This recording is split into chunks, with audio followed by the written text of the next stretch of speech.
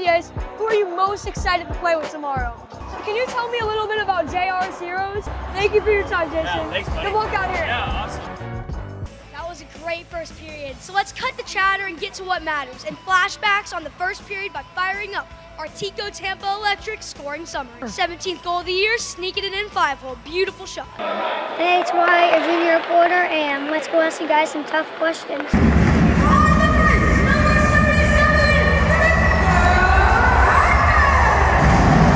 Game and what an amazing weekend. From the blue carpet arrivals, open practices, to the Hobey Baker Awards.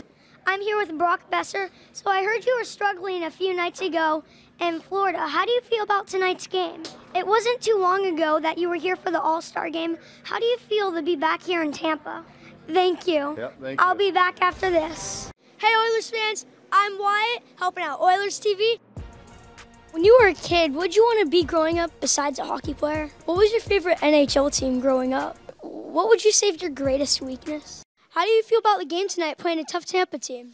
What do you think the Oilers have been doing very well as of late?